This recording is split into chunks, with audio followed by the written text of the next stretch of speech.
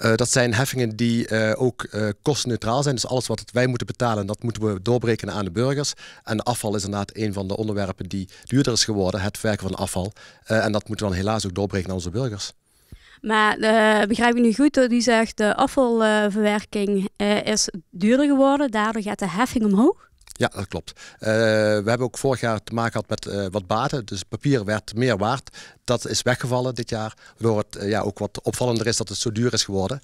Of relatief duurder is geworden. Dus het heeft enerzijds te maken met een meevallen van vorig jaar. En ja, toch stijgende kosten voor afvalverwerking. Die we dit jaar en volgend jaar zien. De wethouder en de oppositie kijken met zorgen naar de financiële ravijnjaren. In 2026 en 2027 komt er vanuit het Rijk veel minder geld naar de gemeente.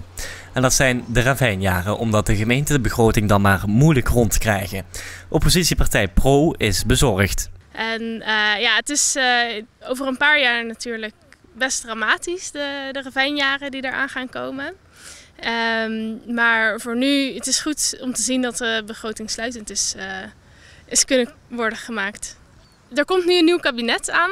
En uh, ik hoop heel erg dat het nieuwe kabinet daar uh, met een oplossing voor gaat komen. Want uh, de opgaves voor gemeentes die worden steeds groter. En ja, met het geld wat er nu voor ligt is het eigenlijk niet te doen om dat allemaal voor elkaar te gaan krijgen.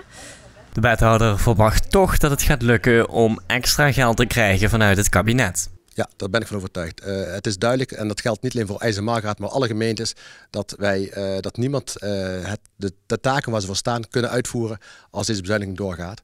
Dus ik ben ervan overtuigd dat er zeker beweging gaat komen vanuit de overheid. Maar of dat het volledige gat gaat dekken, dat ben ik niet van zeker van. Dat is ook de reden waarom wij in januari met de raad aan tafel gaan om te kijken welke ruimte zien wij nog om ja, keuzes te maken. Voorlopig blijven die zorgen, wat een nieuw kabinet kan er pas komen na de Tweede Kamerverkiezingen. En dan wordt duidelijk of de ravijnjaren blijven.